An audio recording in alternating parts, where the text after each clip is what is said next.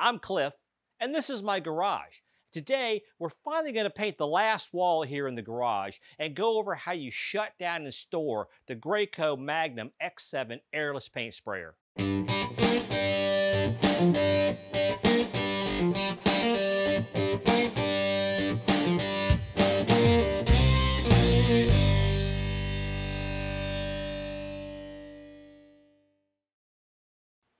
Welcome back to the garage. And if this is your first time joining me, thanks for dropping by. So this is my Graco Magnum X7 airless paint sprayer. And it's a pretty nice unit. I bought it a few months ago. This is part two of my series on this sprayer. If you're looking for part one, a suggested video link is gonna pop up up there somewhere.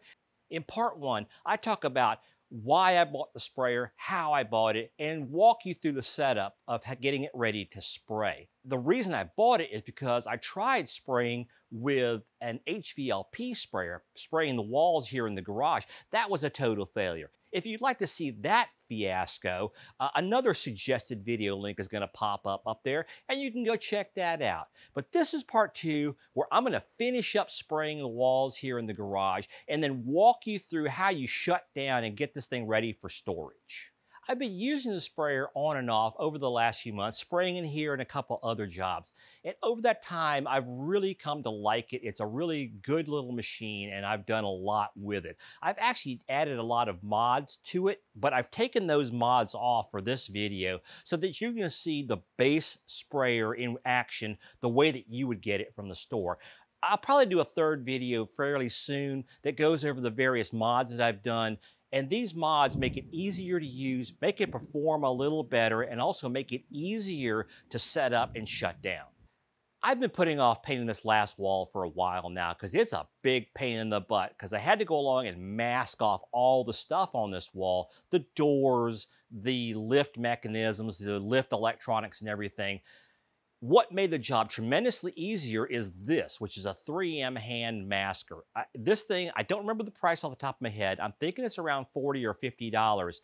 Even for just one job like this, man, this thing is well worth the money. It makes it so simple to mask stuff off. And you saw a little bit of me in the opening intro doing the masking on this thing. Trust me, if you're going to be painting any amount at all, this is a tool you really want to get. One of the coolest things about it is that I'm using it with plain paper, but you can also get a plastic film that's folded like an accordion. So you pull it out and you cut it off, you stick it there, and then you unfold the plastic. And it can be like, uh, I don't know, four, six, maybe even, I think even eight feet long. And so you could mask off this whole door pretty much in just one shot. Uh, it's a little bit pricey for the film, but not bad at all. And boy, does it make a difference in masking off big areas. As always, with any tools that I'm using, there'll be a link down in the description of the video that will send you to Amazon where you can buy it right there. Now, I've already got the sprayer all put together, primed, and ready to go. So let's get started. Well, I forgot to press the record button on the first segment. Uh, so let me just repeat everything I said there. There's a lot of overspray when using an airless sprayer, and so you definitely want to wear some kind of a mask or respirator to keep all that stuff out of your lungs.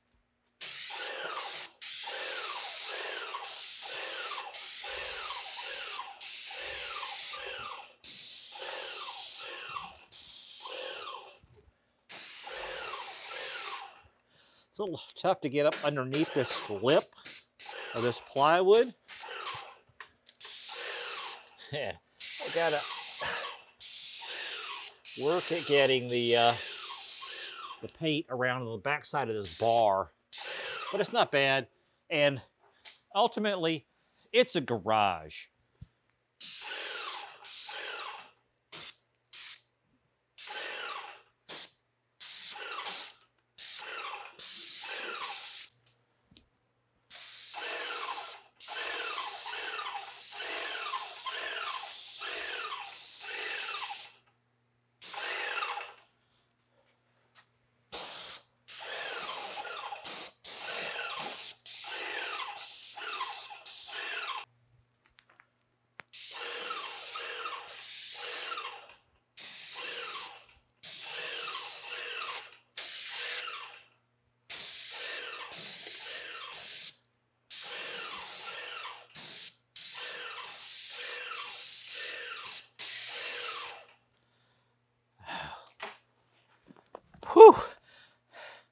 That is miserable working in a mask.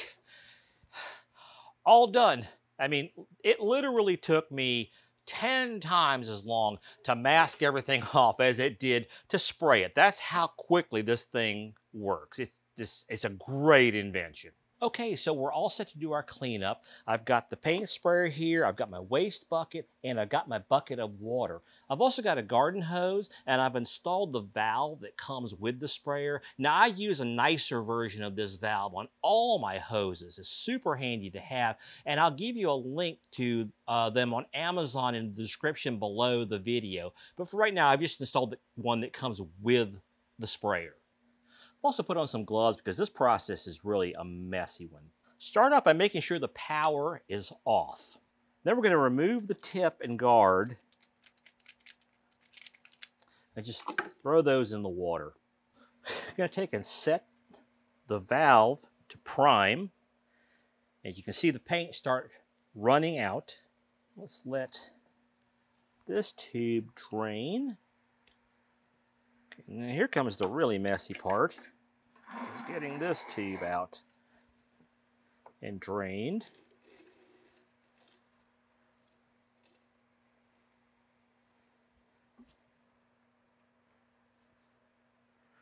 Just kind of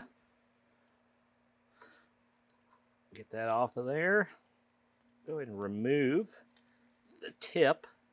Whoa, be careful not to sling paint everywhere like I just did. Take the tip and also just, ugh, Maybe not throw it in the water like that, but put it in the water. And then also, turn this paint off. And then swap the buckets. All right, let's use the hose to uh, clean these off good. I've attached the suction hose to the garden hose.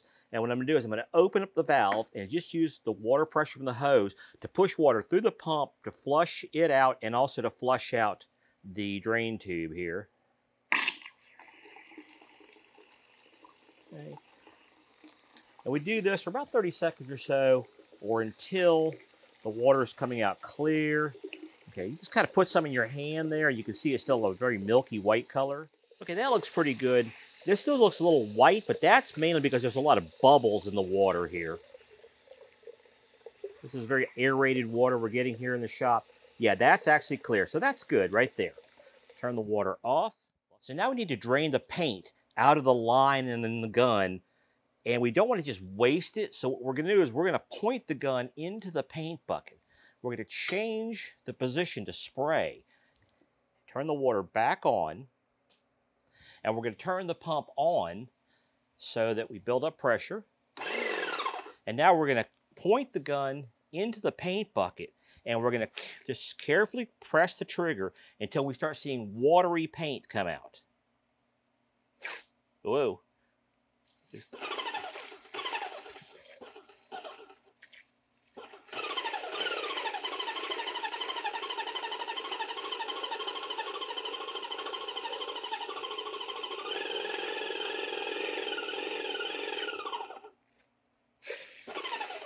Again, you can stick your finger, your hand down there. That's still getting paint. Ugh. This is an almost full paint bucket makes this difficult. Okay, now we're getting watery paint. The instructions say that you're supposed to be taking this and holding it down and then quickly transfer it over to this bucket when you see the watery paint come through. And that's really awfully messy. And what I found is the reason is because if I now take and I point this in here and I pull the trigger, I'm going to get a huge burst of pressure and stuff's going to go flying everywhere. But if you just use one finger on here and carefully feather the trigger, you can release the pressure in here and not make a huge mess. Rinse my hand off in this semi-clean water. Let me move the paint bucket out of the way. All right, now we're going to turn the power off. So all we're going to use here is um, water pressure from the hose. Okay, I messed up here. Actually, you leave the power on and use the pump to push the water through the line, then turn the power off after the water starts coming out clean. And now we're going to carefully feather this off and release the pressure.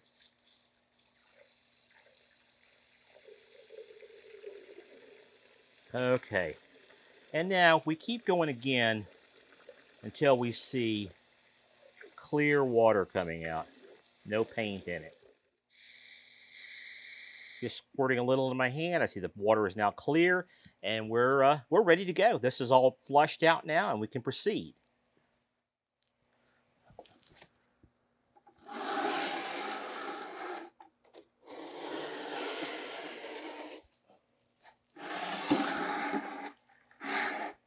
Turn the water pressure off, drain what pressure is on the line, and disconnect the hose. And give these one last good squirt to clean them off. So the last thing we want to do is protect our pump. Right now it's full of water and that wouldn't be good if we left it that way because it would, well, basically rust up and seize up.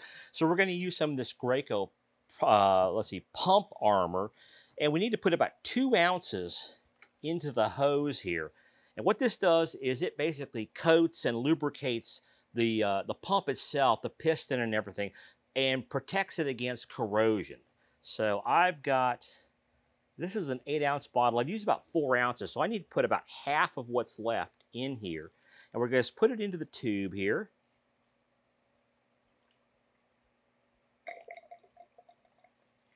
Let's see.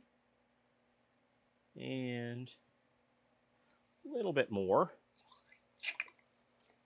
Okay, that's good. Now that the pump armor is in there, we're going to change the switch back to prime so that it pulls it in into the pump and directly out the drain tube again. And we're going to turn on the pump until we see the pump armor coming out of the drain tube. Should be pretty quick. Okay, that was it. And we push the prime valve down to spray again so that it seals off the chamber. And we'll just let this sit here and drain any excess pump armor back into the waste bucket. While we're waiting for those to drain, let's reach in there, find the strainer tip, use the hose to rinse all the paint off of it. Also find the tip and guard, wash those off, remove the tip. Don't forget to get the the washer the seal out of there. A little cleaning brush like this is great for pushing that out of there and for cleaning the gun in general. These tubes out of here. There we go. We're all cleaned up. We've got our pump armor in there protecting the pump. We're ready to put this in storage. Well, I think that looks pretty good. Not perfect by any means, but you know, then again, it's a garage, so this will be fine. Uh, like I said, I've been using this Graco Magnum X7 airless sprayer for a few months now, on and off on various jobs.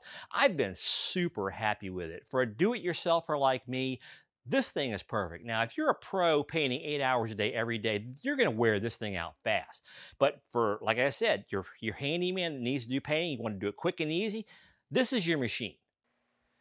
Now, as I said in the last video, I got my sprayer at Home Depot because they had a special sale going on.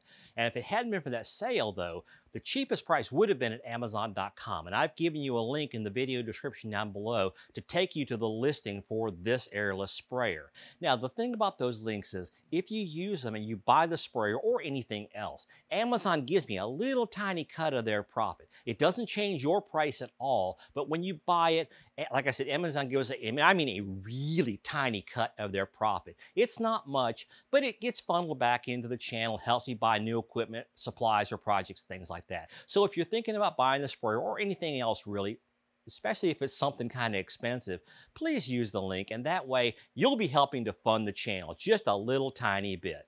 And speaking of the channel, of course, we now have over a thousand subscribers. I think we're actually almost to 1,100 now. Thank you so much. Now, if you haven't subscribed yet, we still want subscribers. We still want to grow the channel. So please think about going down there, clicking on that subscribe button, and uh, letting YouTube know that you really like the stuff I'm doing. Also, to help feed YouTube's algorithm and help them recommend me to other people, please go down there and click on the thumbs up button and give us a like on this video. And finally, once you subscribe, go ahead and turn on notifications, the little bell icon. That way, YouTube will let you know every time that I post a new video from here in Cliff's Garage. I'll see you next time.